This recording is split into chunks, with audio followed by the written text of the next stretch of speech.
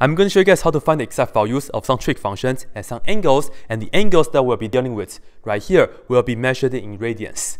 And the deal is that you don't have to memorize the unit circle, but you do have to remember the ratio of the sides of the two special right triangles. And the strategy is that we'll look at all these angles and come up with the reference triangle and then figure out the values of this right here. First one, we have secant of 5 pi over 4. Okay, in order for me to come up with the picture for the reference triangle, right? This is 5 pi over 4, it's in radians. I don't know how big I have to draw the picture, things like that. I don't know how many degrees or things like that to turn, right? So a good strategy is, let me convert the radians into degrees first. So let me put down 5 pi over 4 radians, and I will multiply by 180 degrees over pi. And you see the pi and pi will cancel right away. And now you can just do the computation whichever way that you want. You can do 5 times 180 and then divide it by 4. Okay? Use a calculator or things like that. At the end, you will end up with 225 degrees. And from here, I will be able to show you, all right, let's draw the x and y axis. And let me just keep track, right? We turn and then make sure we have enough 225 degrees starting from here, positive x-axis, and then we're going to turn, right? Positive 225. We know from here to here is 180 already. How many more do we need? We need 45 degrees more. So this is pretty much a picture I'll have, right? And then you will know this is the terminal side of that reference triangle. And this right here is our reference angle, which is 45 degrees, right? And now I can just go ahead and make a right triangle like this. And be sure you always use the x-axis, right? So you, have the x-axis, and then you draw a line straight down like this. And here is my reference triangle. And for the reference triangle, if this kind of questions are asking you to, follow, to do these values without the calculator, the reference triangle will always be uh, the special right triangles. Anyways, this is 45. This is also going to be 45, right? So that means this right here will be 1 and 1, right? However, because this is to the left, so this is negative 1.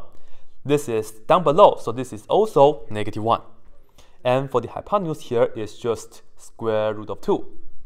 So we fill in the values of the ratio of the sides right here. And if you would like, you can just go ahead and indicate that, okay, this is x equal to negative 1 and y equals to negative 1. And this is the r, which is square root of 2. All right, so at the end, we can figure out, we know secant 5 pi over 4. And you have to remember the definition of secant. Secant is what? Secant is the hypotenuse, which is the r, over adjacent, which is the x, right? So in this case, is r over x. That will give us secant, which it will be square root of 2 over negative 1 which altogether you can write it as negative square root of 2. And that's it. All right, let's look at the next one. We have cosine of 2 pi over 3. Let's go ahead and do the same thing. Convert this into degrees, just like that. And then draw the picture and then do our usual business. So let's go ahead, put down 2 pi over 3. And we multiply by 180 degrees over pi. And then you'll see pi and pi will cancel, and you can just go ahead and reduce, right? Multiply and reduce. 2 times 180 is 360, divided by 3 is uh, 120. So this is 120 degree like that. 120 degrees like this. Okay, picture time. Like this and like that. Keep track. From here, right? From here. This is 90 degrees already. I need to have 30 more. So this is the 30 more that I need to have, right? So this is 30 more. And I will draw my terminal side, which is like this. Okay, this much is 30. That will tell me this much will be 60 degrees. This is the reference angle, right? So this is much more important than that. And then from here, let's go ahead and make our uh, reference triangle. So I will just color this in red like this, and then like this, and then you always draw the line straight down. Right? It's always make the vertical line toward the x-axis, just like that as well. All right, now remember the ratio of the sides of a special right triangle. In this case, is the 30, 60, 90 case, right? This is a smaller angle. That means this right here will be the smaller side. That means this right here will be 1. But it's toward the left, so it's technically negative 1. This right here, it will be square root 3, right? Positive square root 3 because it's above the x-axis. And this right here will be 2, right?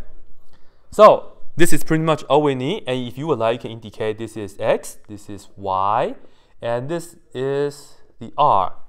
At the end, we can say that cosine of 2 pi over 3, which is the same as um, you can look at this triangle as adjacent over hypotenuse or x over r, right? So I will write this down as x over r, which is going to give me negative 1 over 2.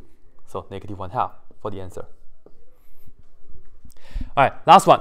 Tangent of negative 11 pi over 6. So right here, let's go ahead. Negative 11 pi over 6, we multiply by 180 degrees over pi. Pi, pi cancel, right? So now, you can reduce if you like 6 and 180. So you can just cross this out. This is 1, this is 30.